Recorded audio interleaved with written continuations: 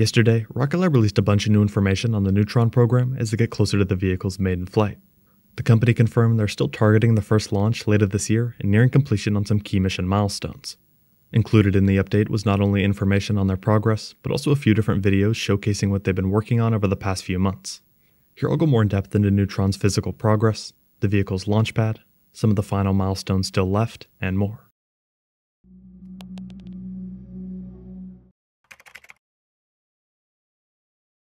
One of the first new videos we got was of the top section of Stage 1. While only just a part of the entire first stage, the specific section includes the Hungry Hippo fairings, canards, and then the extended interstage, plus all of its mechanical systems like actuators, locks, avionic systems, and even running all the flight software. They highlighted that the full assembly represents some of the most complex mechanical systems that exist on the vehicle, and that they all performed seamlessly during testing. They also mentioned that they're just a few small finishing touches away from another big check on the road to launch for Neutron for that whole section. In the video, you can see them first working with a canard, which will play a role during the return to Earth process as Neutron's first stage works its way back to the launch site for a landing. In renders, they show the vehicle with four in total, while the specific Neutron assembly only features one. They then showcase the opening of the Hungry Hippo fairings. In the past, we saw videos of this process, but it was practically just the fairings. We're now seeing these tests with the larger section of the first stage. The goal of this design is to save the fairings and simply close them after stage separation, allowing the company to easily reuse them again and again. The next video and major update they showcased was of Neutron's Launchpad, or Launch Complex 3. The video is of a water deluge test on the recently completed launch mount. By now, with key pieces of launch site infrastructure installed like the water tower, propellant storage, launch mount, etc., the site is just about complete.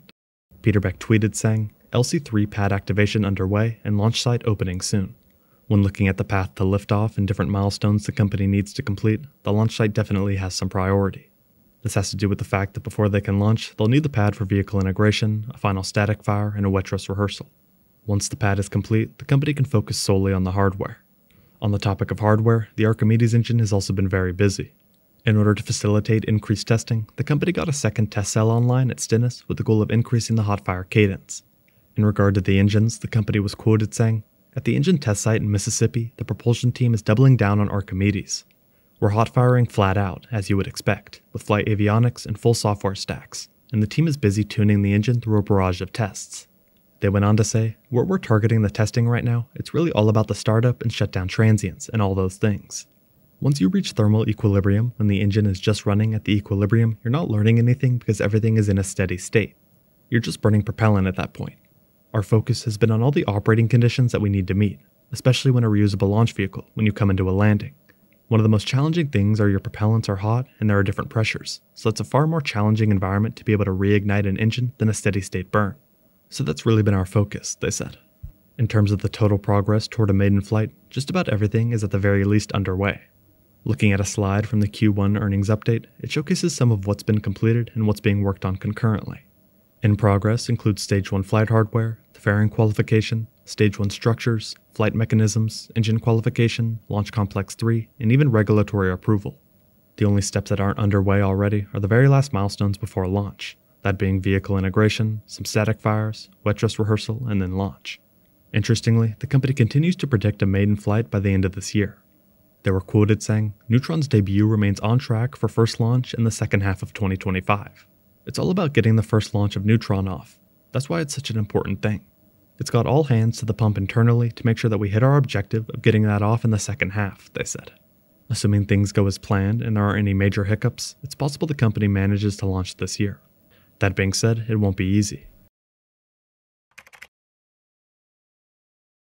Besides physical progress, they also revealed a major new contract. Specifically, Rocket Lab announced it will launch its new medium lift reusable rocket Neutron for the U.S. Air Force Research Laboratory, or AFRL for a rocket cargo mission that supports point to point cargo transportation, establishing a new era of commercial launch capability to advance global defense logistics for the nation. The mission is scheduled for a return to Earth Neutron launch no earlier than 2026. They highlight that the launch contract will see Neutron execute a rocket cargo survivability experiment under the AFRL Rocket Experimentation for Global Agile Logistics or REGAL solicitation an effort by the Department of Defense to create a rocket based point to point transportation system to quickly and rapidly deliver cargo around the world with commercial launch providers. AFRL's experiment will be launched by Neutron in re Earth's atmosphere in a demonstration of reentry capability for future Regal missions. Rocket Lab founder and CEO Sir Peter Beck said, Neutron is a powerful new launch option that will set a new standard for performance, affordability, and reliability for government and commercial space users in medium launch. This opportunity for the US Air Force not only helps to advance space logistics, it also demonstrates a high degree of confidence by the DoD in Neutron's capabilities. Anticipation is high for Neutron's inaugural flight this year, and we're excited to showcase Neutron as a platform for R&D and point-to-point logistics for the DoD, he said. In a statement, the company pointed out Neutron is strongly positioned to capitalize on the medium lift launch requirements for future government and commercial missions. Recently, significant progress continues to be made at the rocket's launch pad in Wallops Island, Virginia, with the site's completion expected in the next few weeks. Production, infrastructure scaling, and both Archimedes engine and full scale components testing is continuing at pace across Rocket Lab's various production and test facilities in the United States, they said, all of which supports a maiden flight in the relatively near future.